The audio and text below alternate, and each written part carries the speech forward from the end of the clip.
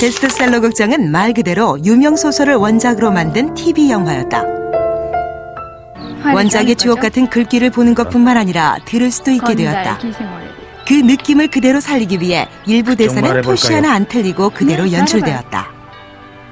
엉덩이에 뿔난 것 같으니 어, 너무했어. 어물전 망신은 꼴뚜기가 시킨다더니만 어, 나 그랬어. 어,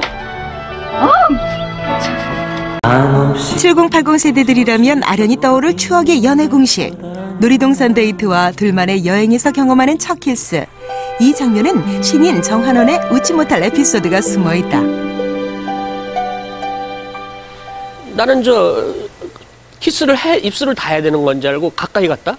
그랬더니 손이 쑥 들어서 어 말리는 거야. 너 어디다가 달 달라고 그러는 거야. 그리고 내가 무슨 잘못한 것처럼 막 야단치더라니까. 아직까지 난 네 마음 훔치지 못했어. 하지만 걱정하진 않아. 곧 내가 훔칠 수 있을 테니까. 소설이 한 편의 드라마로 만들어지기까지 신인 배우들의 어색한 연기는 오히려 드라마의 신선함으로 다가왔다. 원작을 읽으며 상상만 했던 것에 볼거리를 더해 그 재미를 더했다. 언니가. 베스트 극장. 우리가 알고 있는 거의 모든 배우들이 거쳐갔던 베스트 극장은 스타가 되기 위한 필수 코스였다. 최고의 섹시 스타 김혜수의 데뷔작 인형의 교실. 고등학생이었던 그녀의 꾀꼬리 같은 목소리가 인상적이었던 이 작품은 그녀를 하이틴 스타로 만들어 주었다. 고마워요. 정말 고마워요.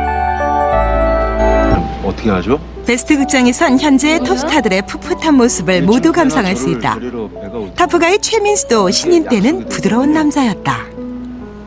그때까진 싫으셔도 저하고 있으면 같이 계셔야 될 텐데. 하나도 도움이. 최근 떠오르는 한류 스타 이동욱 역시 베스트 극장에서 데뷔. 신인답지 않은 존재감으로 주목받았다. 그리고 전 대학에 가지 않습니다. 머리에 똥만 채워준 학교는 고등학교로 충분합니다.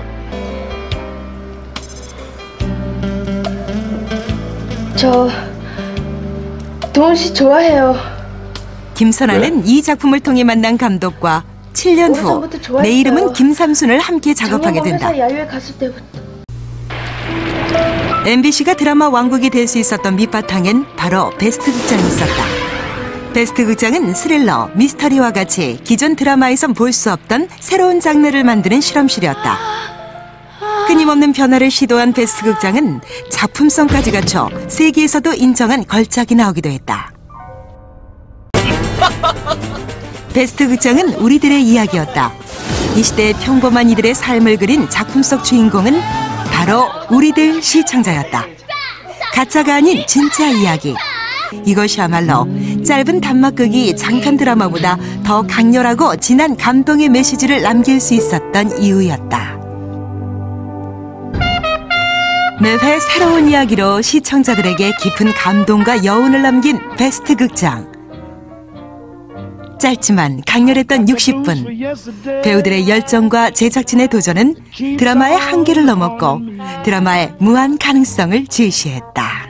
keeps on haunting me. I got the blues deep down, days that used to be.